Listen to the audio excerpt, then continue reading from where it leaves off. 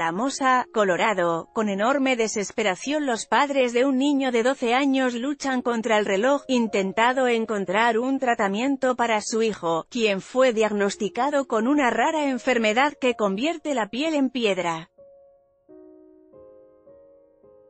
Leer más, el abuso excesivo de esta droga le pudrió su garganta. Hayden Rogers sufre del síndrome de piel rígida, el cual consiste en un trastorno del tejido conectivo que progresa rápidamente y que hace que la piel se vuelva dura.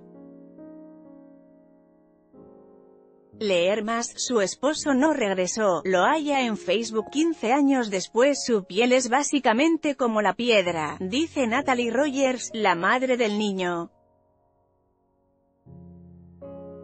Es como tocar una encimera de la cocina.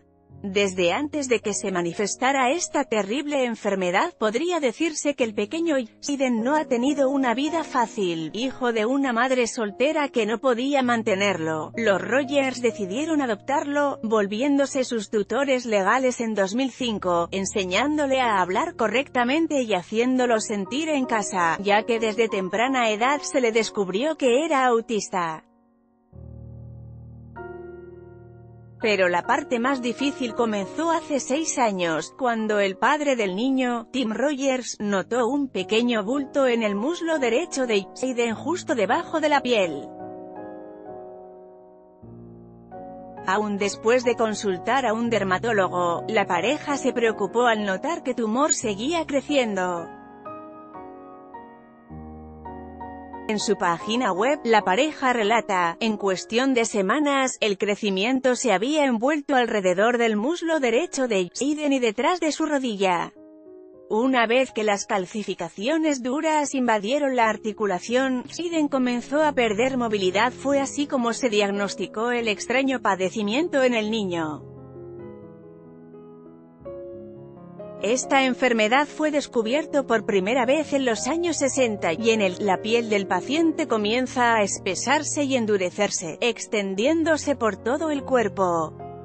Contado a se han registrado solamente 41 casos en todo el mundo.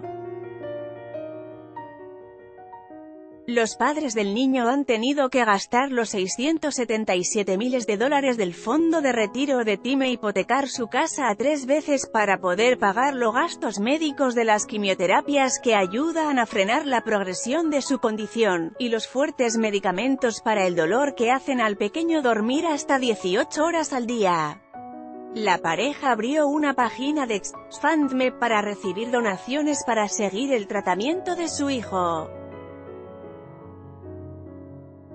La familia busca recaudar 1,5 millones de dólares, lo cual cubriría un año de un tratamiento especial de células madre para enfermedades raras de la piel en Europa.